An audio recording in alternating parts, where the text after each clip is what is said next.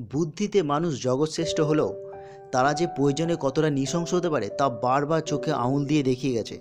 এরকমই একটি ঘটনা ঘটেছে কেরলে। কেরলে পলক্কর অঞ্চলের সাইলেন্ট ভ্যালি ন্যাশনাল পার্কের কাছে একটি ঘটনা ঘটেছে, যেখানে অন্তঃসত্ত্বা হয় হাতিকে আনারসের মধ্যে বাজি পুড়ে তাকে খাইয়ে দেওয়া হয় এবং সেই বাজিগুলি একের পর এক ফাটতে থাকে এবং সেই অন্তঃসত্ত্বা হাতির মৃত্যু হয়।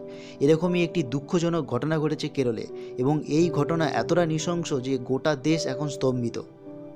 অন্তঃসত্ত্বা হাতিটি খাবারের খোঁজে গ্রামের মধ্যে চলে আসে এবং সেখানে গ্রামবাসীদের দেয়া সেই আনারসটি সে গ্রহণ করে এবং তারপরেই ঘটে নৃশংস ঘটনা। একের পর এক বাজি ফাটতে থাকে মুখের মধ্যে। মুখ, সুর, রক্তে লাল হয়ে যায় এবং অজস্র যন্ত্রণায় সে কাঁদতে থাকে। এক সময় হাতিটি বুঝতে পারে তার মৃত্যু আসন্ন। এদিকে তার গর্ভে ছ মাসের সন্তান। তাই কষ্ট কমাতে সে নেমে পড়ে নদীর মধ্যে এবং সেখানেই তার মৃত্যু ঘটে। এই নৃশংস ঘটনাটি প্রকাশ্যে আনেন নীলাম্বুরের second forest officer Mohan Krishnan তিনি হাতিটির ময়নাতদন্ত করেন। তিনি সংবাদ মাধ্যমের সামনে বলেন, দুই দশকেরও বেশি কর্মজীবনে আড়াইশোরও বেশি হাতির ময়নাতদন্ত করেছি। এই প্রথম কোনো মৃত্যু এতটা নাড়া দিয়ে গেল। হাতে মৃত ভুনটিকে নিয়ে নিজেকে সামলাতে পারেননি। প্রথমে ধারণা ছিল না হাতিটি গর্ভবতী। শুধু তাই নয় কৃষ্ণন বলেন, হাতিটির মধ্যে একটি সিক্স সেন্স কাজ করেছিল। সে জানতো তার মৃত্যু আসন্ন। সুর সহ গোটা শরীরে রক্তময় যন্ত্রণায় জ্বলছিল সারা দেহ।